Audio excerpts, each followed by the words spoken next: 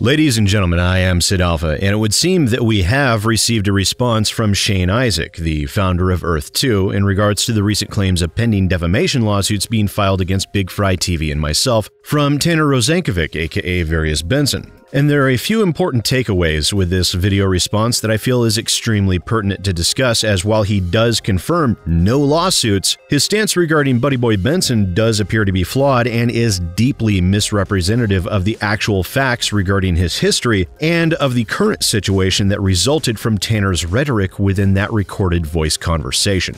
So, much like with the recording of Tanner from yesterday, I will be running through Shane's statements within the video that he posted to YouTube, and I will post the link to his video down in the pinned comment so people can watch it straight through if they desire. So, let's get started with Shane's confirmation that there is no lawsuit. The statements made in the audio recording are not accurate. We are too busy focusing on the game and the platform, but this I have to say is a classic example of where something not true is instantly blown up and presented as factual truth even when the publishers themselves have good cause to believe that it's likely not true and claim in their own videos that this is likely not true. Now, prior to that clip, Shane repeated several times that this was illegally recorded audio, failing or refusing to take into account any applicable areas of single party consent and instead relying on the oft held position of Tanner Rosankovic himself. And to a certain extent, in regards to Shane's claims that there was a potential of this not being true, I will say this he is correct that there was a degree of admitted possibility that this was untrue, which I stated as such within my video. The reason why there is always a possibility of something like this being untrue is strictly due to the person who said it. Buddy Boy Benson is a known liar.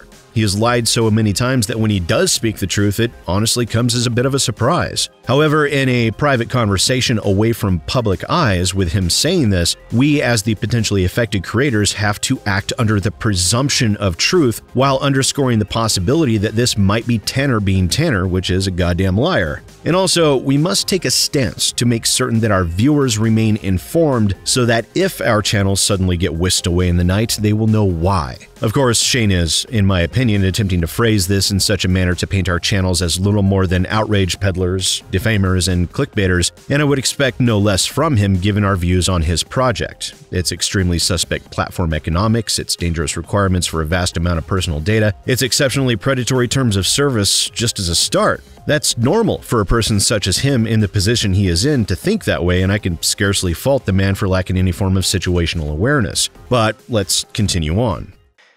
I cannot confirm whether the voice in the audio is the junior dev we hired, and I, as I do not know him well.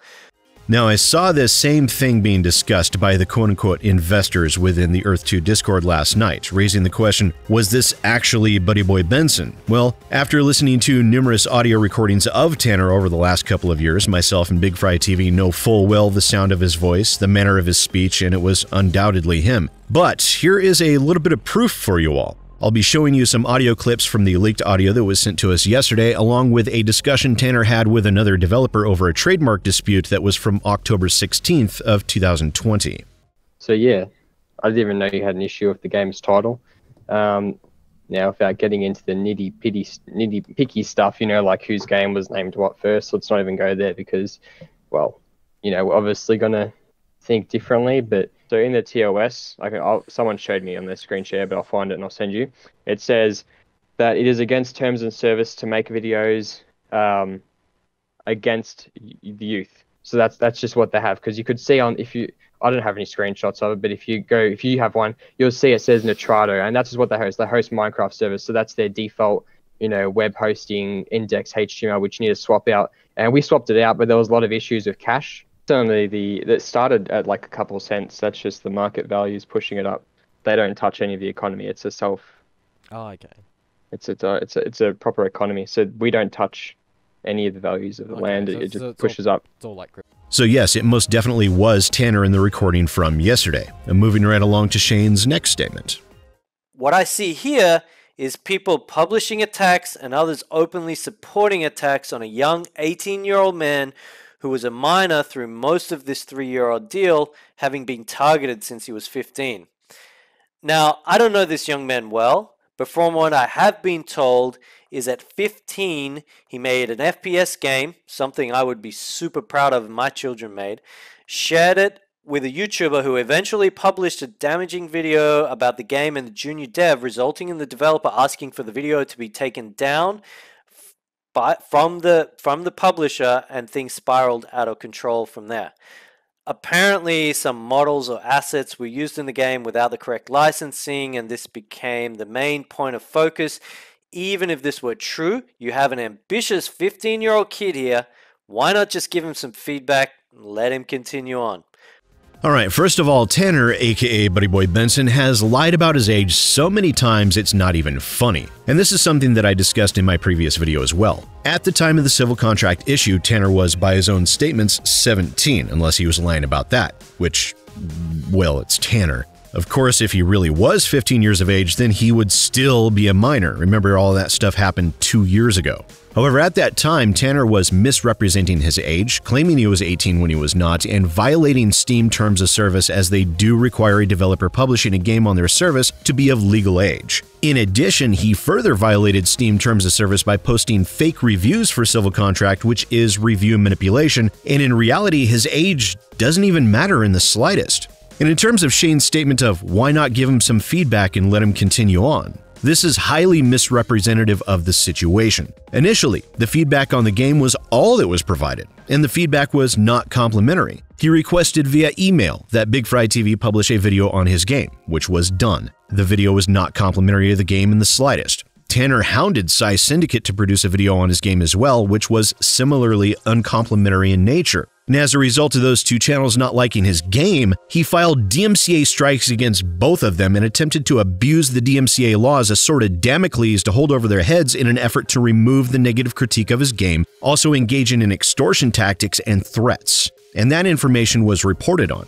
Tanner was no innocent there. He was not the victim. He was the aggressor and was violating the law to silence critique. And yet Shane is over here attempting to paint our channels as these big bad bullies for daring to pick on an innocent young boy. Where in reality, Tanner threatened the existence of those two channels illegally, and as a result, he got his slimy little ass handed to him. It's really just that simple. When you claim you're an adult and you violate the law and attempt to harm the channels of the people that you asked to review your game, don't expect them to go quietly into the night. Age doesn't even enter into it.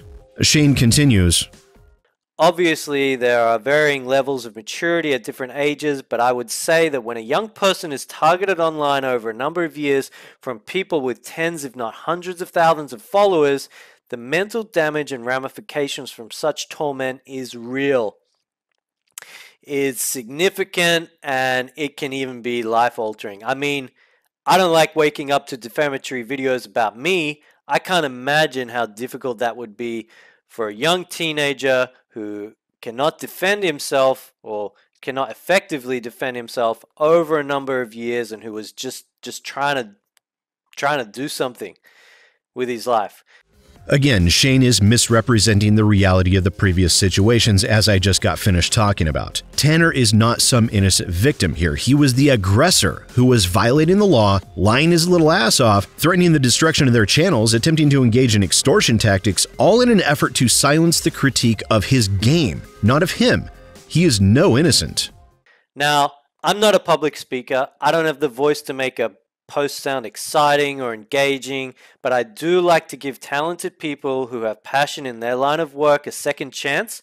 Again, he was not the victim. Get that through your thick skull, Shane. And let's talk about second chances for a moment. Once upon a time, Civil Contract did release on Steam. It was in a deplorable state and unfit to play. After it got panned on Steam, Tanner pulled the store page down saying he'd be working on the game and then posting it back up. Okay, fine. Then, sometime later, Tanner approached me under the guise of the Capital Gaming RP Discord user pretending to be someone else in order to pass himself off as a member of the development team that I personally do not believe actually existed, and asked me to take a second look at Civil Contract, stating that they had a new update that had fixed a lot of issues and introduced a great many new things. The problem was that patch was, to my knowledge, never implemented, and the only thing he had to provide me when he asked for me to take a look at the game was a YouTube video discussing the planned changes. Naturally, I declined, stating that I would be willing to do that if and when the update was actually applied to the game, not before, as I would not produce a video making claims about features and updates for a game that did not exist yet. He then also attempted to get me to sit down and reconcile with well, him, as he was still pretending to be someone else at that point, stating that Benson had already reconciled with Size Syndicate and Big Fry TV. I reached out to Big Fry TV, who confirmed that this was a lie. He never reconciled with Benson. I also spoke with another YouTuber, Durag, who stated that Tanner had reached out to him asking for the same, claiming that he had reconciled with both Big Fry TV and myself, which again was a bald faced lie. And then we have Monogon Echo, Tanner's recently released game where he purchased the IP from someone else, and there was a DMCA strike filed against the game because, and bear in mind I've not been able to confirm this, so take it with a grain of salt, it was alleged that Tanner had not paid for the acquisition, although I do not know if it was paid at all or it was still missing some portions. Either way, Tanner was still right up to his old tricks again, as MMO Fallout figured out that Tanner had been engaging in review manipulation with this game, much the same as he did with Civil Contract, with fake reviews. And I've been informed from two separate Discord moderators for Tanner that he consistently asked his team to go post reviews in order to bump the numbers, which is unethical and against Steam terms of service, and developers have been wiped from Steam for far less. So there's our second chance there showing that Tanner has not changed, as the Monogon Echo thing is literally a month old. So let's talk about the third chance, which is this current situation. Tanner, as a contracted member of your team, Shane, lied about defamation lawsuits regarding your company. The information surrounding the lawsuit claim was found out, and our channels acted accordingly. And the results of that action placed your own company under an even worse light and placed it under even greater scrutiny. This is your employee actively causing harm to your company and its reputation because he is such a pathological liar that he seemingly just can't help but spread falsehoods out of his hate boner for Big Fry TV and myself. This poor innocent child employee of yours actively caused harm to your business through those lies. It baffles me to see such a lack of situational awareness, but I suppose again that's to be expected. So there were three chances that Tanner has been given over the course of the past two years, and he has shown no remorse for his actions, no evidence that he has changed in the slightest in these past two years, and no evidence that he ever will. Hell, your own community kept on stating that our channels should do our research, and we did. And what we saw was highly unethical, predatory, and exceptionally anti consumer in nature. In addition, your own terms of service show that there is a potential of your monetization methods being an unregistered security and also might be an unregulated exchange. That is why it was referred to as being a scam, means you still seem to be so completely baffled as to why. Research was done. You've been weighed, you've been measured, and you've been found wanting. I'm glad for your sake that there will not be any lawsuits. Discovery would have had me feeling like a kid in a candy store. Once again, ladies and gentlemen, I am Sid Alpha, and I'll see you next time.